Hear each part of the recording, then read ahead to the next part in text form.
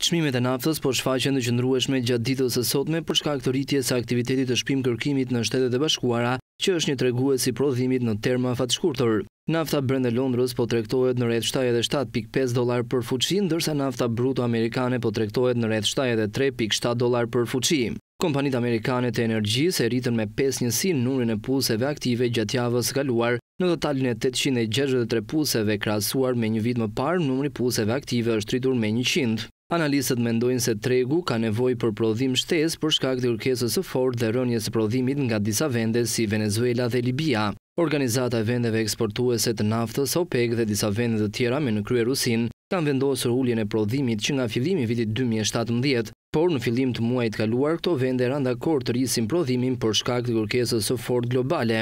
Gjithsesi çmimet mund të gjenden nën presion për shkak të luftës tregtare mes Kinës dhe Shteteve të Bashkuara të Amerikës.